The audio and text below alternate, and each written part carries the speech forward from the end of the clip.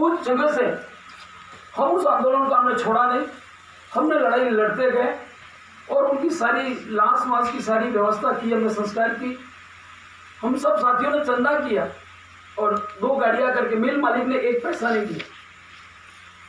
एक पैसा मिल मालिक ने नहीं दिया कि उनके गंतव्य स्थान पर उसकी डेड बॉडी पहुँचाने के हम उस जमाने में आज से पैंतीस साल की पुरानी बात चल रही है। उस वक्त चंदा करके उन दो साथियों के हमें नागदा में उनकी डेड बॉडी को पहुँचाया।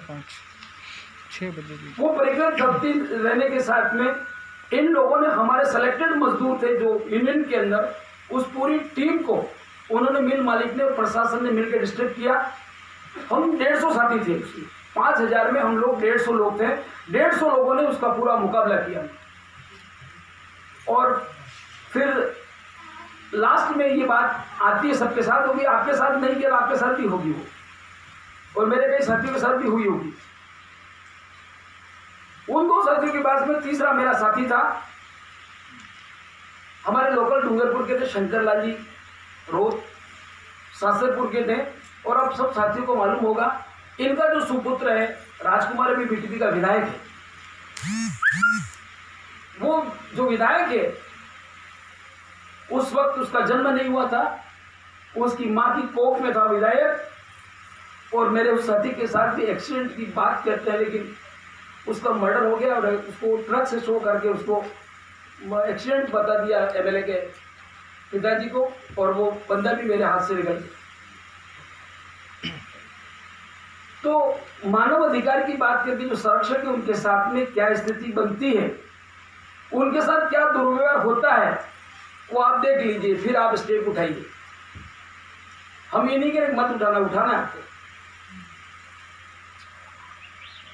हमारा, उन लोगों ने मैनेजमेंट ने हमारे माननीय वो जो साथी शंकरलाल जी रोप थे, विधायक महोदय के पिताजी और हमारे दोनों का, मिल मैनेजमेंट ने मिलकर, उसके पर्सनल मैनेजर के द्वारा हमको किसी एक गाँव में पकड़ा गया। रात को नौ बजे चारों तरफ़ से गाड़ियाँ घेर के और हमको दो सूटकेस लेके आया वो मैनेजर वो बोला कि एक सूटकेस आप ले लीजिए, एक सूटकेस आप ले लीजिए और आप डूंगरपुर छोड़ के उदयपुर सूटकेस सिंटेक्स लोहरा मिल में चला जाइए लोहरा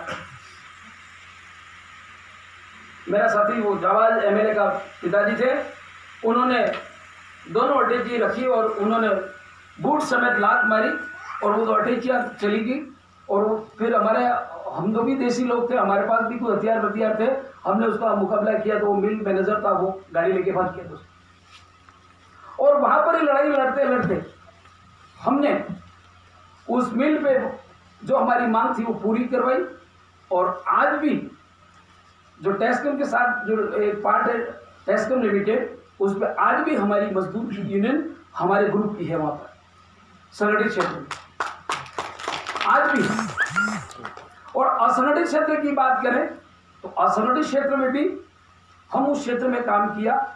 वो विशेष करके जो आपका निर्माण मजदूर संगठन है, जो मजदूर निर्माण लगते हैं काम के लिए बिल्डिंग बनाते हैं, उसके साथ में हमें काम करने का मौका मिला। खेत मजदूरों के साथ काम करने का मौका मिला।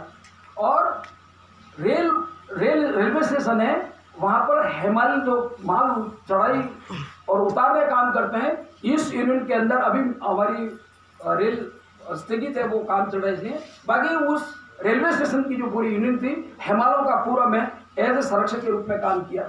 और उनके पूरे अधिकार को दिलाने का काम हमने किया। रेलवे स्टेशन हेमालों के साथ। तो आपको तकलीफ़ तो होगी, काम तो हमको करना पड़ेगा। और इस बीच में जब हम सिंटेक्स जो लिमिटेड पे काम कर रहे थे, मजदूर लोग के साथ थे, उन गुंडों के द्वारा हमारे साथ घेर के, मिल घेर के और सरेआम फायरिंग करवाई मिल मैनेजमेंट ने और हमारे दो साथियों को गोली लगी। और दोनों को हॉस्पिटल ले गए। व्यवस्थित रूप से कोई घटना नहीं घटी और हम दो साथी रहे थे। हमको गोली नहीं लगी, लेकिन ये लोहे के पाइप होते हैं, उन पाइपों से मिलके आठ आदमियों ने हमारे दो जनों पे, दो साथियों पे हमला बोला इन्होंने जो मेरा एक हाथ टूटा हुआ है और यहाँ पे पेट पर यहाँ ऑपरेशन है और इस जगह पे पूरा पाइप घुस गया था लेफ़्ट साइड के और मैं अहमदाबाद भर्ती रहा, ठीक हुआ, वापस आया। वापस मुकाबला किया। और आज दिन तक एक भाग पर हमारी यूनिट है। और दूसरे भाग पर हमारा पूरा प्रयास चल रहा है कि मजदूरों के साथ में हम बराबर संपर्क में हैं। आज भी बाहरी मजदूर जो ग्रुप नहीं है, वहाँ पर भी घटना दुर्घटना होती है। हम मिल गेट पे जाते हैं वो पूरा मैनेजमेंट वो सूचना पहुँचती है, वो दिल्ली हो, चाहे बॉम्बे हो, चाहे अमेरिका हो। विकास लाड़िया को टेलीफोन होता है कि नारायण लाल रोड गेट पे आया है। उसका फ़ोन आता है मिल मालिक का सिक्योरिटी गार्ड ऑफिसर के पास में, वो बोलता है कि वो किसी काम से आया उसको संतुष्ट करके भेज दो, आज भी वो रिकॉर्ड है। तो साथियों, मुकाबला करना पड़ेगा, तभी हमारे कुछ जो गरीब तबका है, कमज़ोर तबका है उसके अधिकार की बात करेंगे, उसको हम फ़ायदा दिला सकते हैं।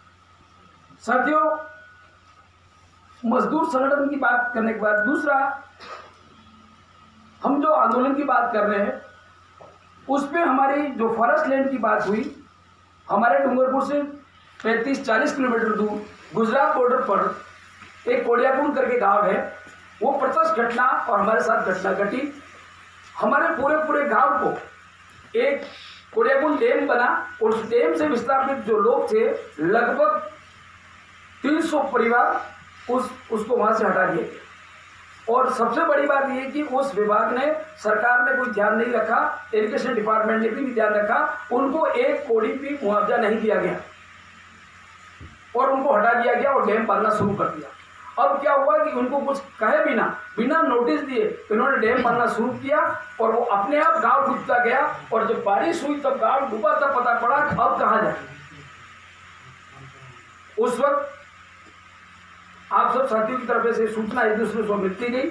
हम लोग मौके पे पहुँचे और हमने वहाँ पर मीटिंगें की, शुरुआत की और पूरे पूरे उस डैम के अंदर जो लोग थे, उस वक्त हमारे हिम्मत सिंह जी भारत करके एक एस साहब थे उनका भला हुआ आज भी याद करता हूँ वो मौके पे आए कि नाना भाई क्या करना है? साहब आप बताओ उसका मौका मुआवजा करो और हमको किसी भी तरह से उसका मुआवजा दिलाने की आप बात करें तो वो सारा दिन हिम्मत सिंह जी भारत एस साहब आए मौके पे पूरा सर्वे किया और उन लोगों को हमने डूबने के कम से कम सात साल बाद उन लोगों को मुआवजे के लिए हाईकोर्ट भेजी। इसके बाद वो लोग जाए कहाँ हम लोगों ने मीटिंग की मीटिंग करने के बाद में पूरे गाँव को ढोल बजाकर हमने उस पूरे के पूरे आदिवासी लोगों को पूरा पूरा ग्रुप उस जो साइड में जो ज़मीन थी, जंगल की, उस जंगल के अंदर आज भी बसे हुए हैं पूरी व्यवस्था के साथ। और उसके ऊपर भी हमारे पे मुकदमा हुआ। और मुकदमा वन विभाग ने किया। और फिर पेपर में लिखा एक सामाजिक कार्यकर्ता बाय मोटरसाइकिल आता है जंगल में और लोगों को भड़काता है और भड़का के उन्होंने सरकारी ज़मीन पे कब्जा करवा दिया। इस तरह से और मुकदमा दायर हमारे पे हुआ। वो मुकदमे भी हमने लड़े। कोई दिक्कत नहीं। पिछीवाड़ा थाने में मुकदमा हुआ। दूसरा मुकदमा इसी तरह हमारे पे बड़दा थाने में हुआ। वो भी डोजा गाँव के अंदर, उस ज़मीन और तालाब के मुद्दे को लेकर लड़ाई लड़ी, वो मुकदमा भी हमने लड़ा।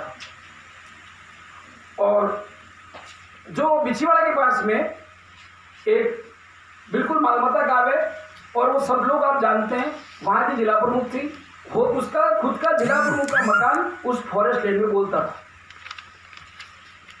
वो लड़ाई भी हमने लड़ी जाने आने का रास्ता किया, और वहाँ भी हमारे पे मुकदमे हुए। कुल मिलाकर साथियों हमारे जीवन के अंदर 35 साल के अंदर नारायणलाल रोड के 17 मुकदमे हुए और 17 ही मुकदमे हम जीते हैं, हारे नहीं है और आज भी हमारी लड़ाई जारी है। आप सबको जिंदाबाद। जय हिंद। जय आदिवासी।